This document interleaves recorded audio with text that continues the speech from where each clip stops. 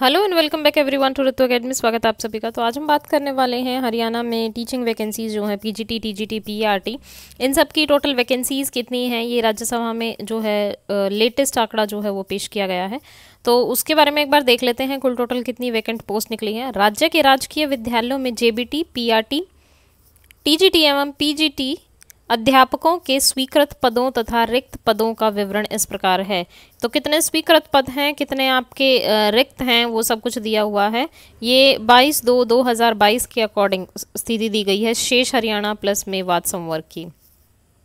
सबसे पहले पीजीटी की बात करें तो स्वीकृत पद हैं चालीस हज़ार आठ सौ इकसठ और आवश्यकता अनुसार पदों की संख्या है चालीस हज़ार नौ सौ इकतीस। जिसमें नियमित हैं सिर्फ़ चौबीस हज़ार सैंतालीस और गेस्ट टीचर्स हैं सोलह सौ उन्नीस। तो कार्यत कुल हैं आपके पच्चीस हज़ार छः सौ छसठ तो आवश्यकता अनुसार रिक्तियों की संख्या है पंद्रह हज़ार दो सौ पैंसठ। फिर टीजीटी की बात करें तो टीजीटी में आपके कुल स्वीकृत पद हैं पैंतीस हज़ार नौ सौ चौरानवे, जिसमें आवश्यकता अनुसार पदों की संख्या है इकतालीस हज़ार दो सौ चौवन।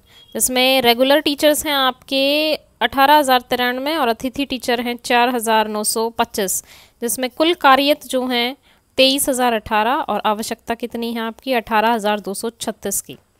अब हम मुख्य अध्यापक की बात करें तो आपका स्वीकृत पद है दो हज़ार छः सौ छब्बीस आवश्यकता अनुसार है छब्बीस सौ पचानवे, रेगुलर हैं सोलह सौ उनचास, अतिथि एक भी नहीं है और कुल कार्यत हैं आपके सोलह सौ उनचास तो आवश्यकता अनुसार है एक हज़ार छियालीस।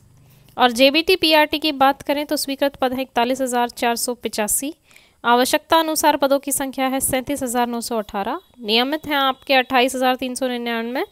अतिथि हैं आपके पचपन सौ नब्बे। एंड कुल कार्यरत जो हैं आपके वो हैं तैतीस हज़ार नौ सौ नवासी आवश्यकता अनुसार रिक्तियों की संख्या है तीन हज़ार नौ सौ उनतीस।